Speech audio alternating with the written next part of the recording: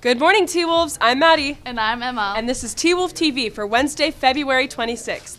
Congratulations to Paxton Richards and Kai Decker, who signed baseball scholarships last Friday in the Little Theater.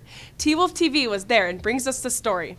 Um, today's a very special day. We've got Kai and Pax here. They're both signing their national letters of intent. Again, we've had a few opportunities throughout the years to have um, student athletes be able to do this here at Timpanogos High School. It is a huge honor and a huge deal, and we're happy to be here to celebrate with these guys. 6% of all high school athletes are able to go to the next level, and that out of 1,500 students, you guys can do the math. We don't have all 1,500 obviously playing here, but throughout the state of Utah, Big deal. Congratulations to Kai and Pax. And I need your help now with a little drum roll so we can do what we came to see, and that's them sign their national letters of intent at Lane College and UVU. Okay, these are two great young men. Proud of them. They've put a lot of work into being able to uh, be recognized to participate at the next level at Lane Community College and Utah Valley University. So, great young men, and it's just good friends, and hopefully they'll always remember that they're a T Wolf, but uh, they are they are bound to bigger and better things as well. I'm headed to Utah Valley University to play baseball, and I'll be attending there after my mission. So I'll be there in 2022. I am going to Lane Community College. Uh, I'm going as a pitcher and a shortstop. Um, yeah. Uh, I've just been super blessed to be able to play with both these uh, these studs, and um, I know they're going to do amazing things. And the work that we've all put in and the work they've put in, uh, there's no one else that works that hard, and it's just great to be teammates with them. And hopefully, uh, we're here to have a good season, and I'll I'll miss them when they're uh, off of college. Hey, we just want to congratulate these two guys. Uh, this doesn't happen for one year of any. I mean, this is an ex- and a result of a lot of years of experience. How long have you been playing baseball? 12 years.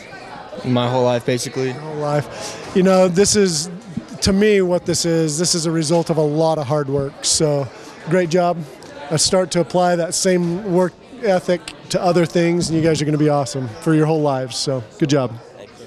Congrats again, Kai and Paxton, and good luck to the baseball team this spring. The girls basketball team will be holding their spring informational meeting tonight at 6 p.m. in the Media Center. This is for all players and those who want to play and their parents. Come learn about what they have planned for this spring and summer.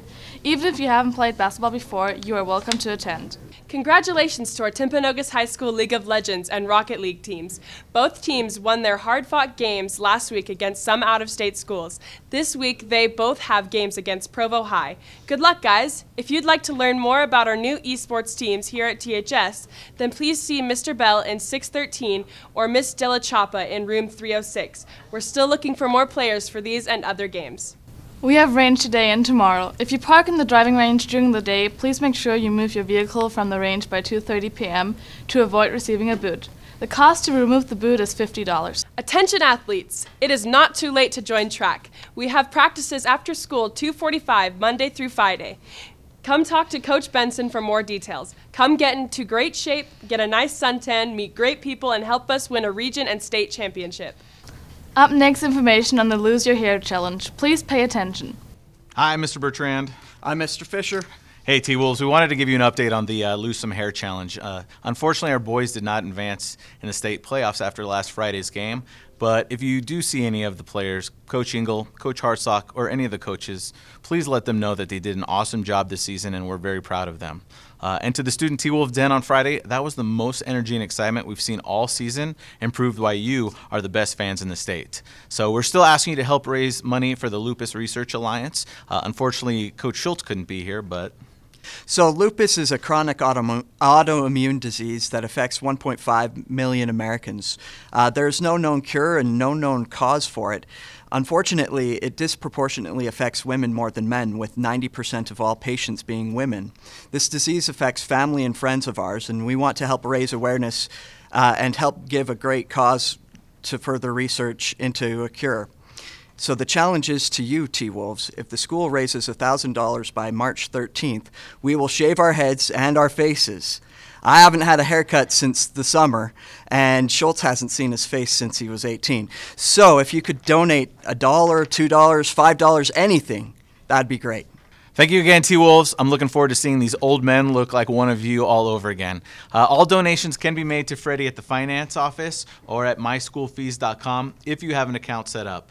Again, thank you, and it's a great day to lose some hair.